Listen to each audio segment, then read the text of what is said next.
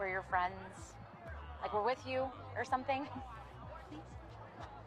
Listen, I, I, don't know. I, I just, uh, He can't help it because he is the help. Look at him. Looks like a butler or something. Oh shit, I was right.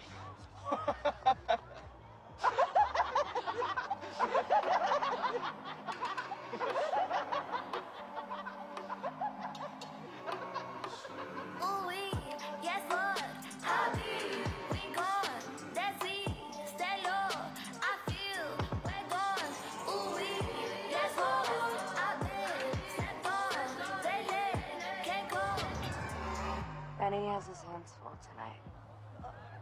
Maybe find someone else to reach out to. Do us a favor.